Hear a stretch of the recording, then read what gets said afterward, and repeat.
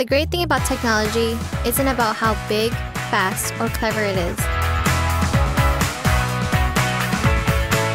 It's about delivering connections that empower people to achieve things. Try them for the first time. Connect with others. Or even rediscover the world around us. It's your world. Explore it.